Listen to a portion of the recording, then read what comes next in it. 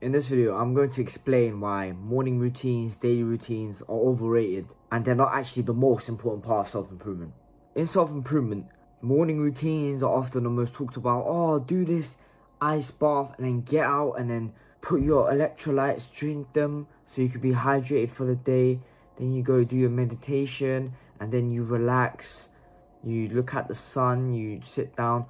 These are all good things. I'm not saying they're not. Um, in this video, I'm going to tell you why you should not obsess over them. And first of all, yeah, before we start anything, in case you're wondering, Arda, what the fuck is that on your nose? Well, like I said, with the breathing issues I have with the nose, I can't get surgery till I'm 18. So, I'm trying these nose strips out, and it actually helped for to sleep at night. So I was like, might as well keep this on. If anyone calling me Alex Hormozi copycat, whatever, shut the fuck up, yeah? Alright, first I'm gonna explain a story. Because I never give advice if I never used it myself. I don't just say shit that I look on the internet and then it was never used in my life. So, actually it's fucking hot in here, bro. I'm gonna take my tank top off as well. But fucking massive, bruv. Look at me. So, ugh. so, this was three days ago. I had my usual morning routine. You know, cold shower, meditation, everything.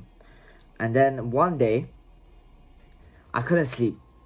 This fucking breathing shit again. I don't mean to excuse everything I do over my nose problems, yeah? But this time, I really couldn't fucking sleep. It was like 1.30 a.m. or something. I may not sound late to you, yeah? But I usually wake up around 8.39, 9.30 max. But I sleep, wake up at around 10.30. I was like, fuck. When I do my deep work, it's going to be pushed out. It's going to be like 2 p.m. I'm, I'm not going to be able to do anything. So then I was like, let me do my normal morning routine. I have my cold shower. I don't rush straight to the cold shower. I, I do cold shower. I look outside for a bit, sit down, drink some water, take my time. And then after meditation, after the gratitude journaling, after all of that, I look at the time. It's 12 o'clock. It's 12 o'clock. I technically did my morning routine. I set up my day for success. But I got zero work done. What I'm trying to teach you guys here is your morning routines are not the stuff that will get you successful. Sure, it could be nice at the beginning. You know, wake up, cold shower, and then you just relax. Sure, it could feel nice. Especially when you're starting out to build discipline. But after a certain point, you wake up late, or your morning routine is just too long. Even if you wake up early, you're just wasting your time. Alex Hormozi said this. He had someone telling him, oh, I wake up and my daily routine is three hours. I go into this cold plunge, I do all of this and then it's like 11 a.m. and I and I'm so tired I, I can't work. What do I do? Well, he said, cut the three hours of morning routine out and replace them with work. Guess what happened? He got shit done. This is not to discourage you to not doing your morning routine. I still think they could be beneficial. And on the self-improvement journey, you can start to obsess with the good habits. Like, if you don't go to the gym today, you're going to be really, really pissed off it's gonna be like an addiction, just like you did with fucking porn a few years ago. You have the same thing, but with gratitude journaling now. That was not the whole point of this morning routine. Your morning routine should be max 30 minutes. And I'm only adding extra because of meditation. Your morning routine could be one hour if you meditate for around 40 minutes. That's fine.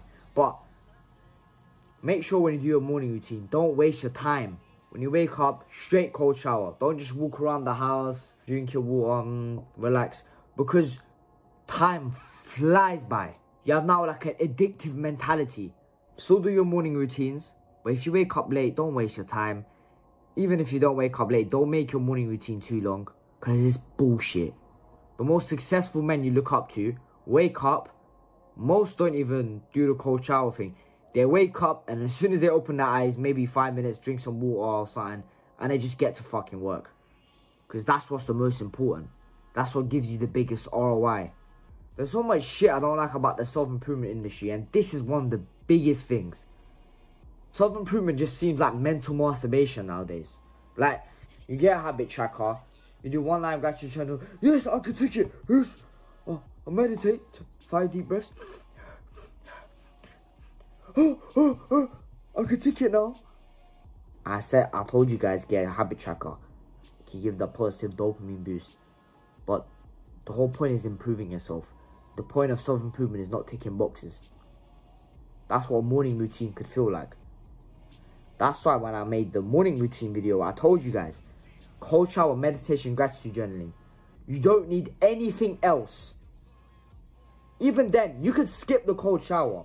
When you get to a certain amount of discipline, you don't need a cold shower to be able to work. I'll be honest right now, I did not have a cold shower today. Mainly because I don't really feel the benefits of having a high dopamine after the cold shower anymore. So I'm going to wait for a bit, then do it again. So I've been ranting this whole video. The only thing I want you to get is, don't make this your identity. Instead, focus on the stuff that actually matter. Hmm, you know, I do all this morning routine, but you know, I only work for about 10-15 minutes. Let's change that.